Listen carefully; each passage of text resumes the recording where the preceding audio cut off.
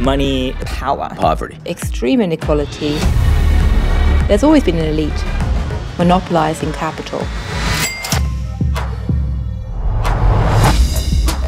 Moi, j'ai très peur en ce début du XXIe siècle à cause de ce que j'observe dans les données historiques. In the 18th century, money marries money, and so poverty is a death sentence. The way the elite stays in power is also by shaping the way that we think. Make America great again. We have a mythology that what's good for Wall Street is good for Main Street, but that's really never been true. People are bankrupting themselves.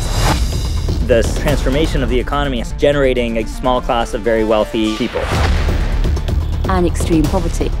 What happens to taxation? Large amounts of wealth are moved offshore. People have the money to make sure they stay at the top. The system is rigged. This is producing a new social story. People are starting to say enough of the inequality and enough of not having a story about how this ever gets better we can absolutely link the rise of fascism and extreme poverty.